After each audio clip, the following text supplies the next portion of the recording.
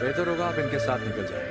ये खूबसूरत है, होशियार भी है, जवान भी हैं, महत्वाकांक्षी है। साफ़ दिल के हैं अपने पिता की तरह और सेहतमंद तो है। आपको बस साल भर इंतज़ार करना होगा, ज़्यादा से ज़्यादा दो साल, क्योंकि तब तक आपको विधवा वाली पेंशन नहीं मिलेगी और ना ही हमारी जायदाद से कुछ मिलेगा।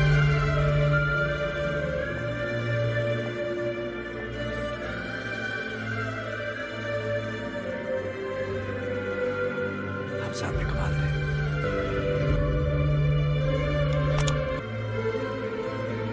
जी लोग अपनी ज़िंदगी।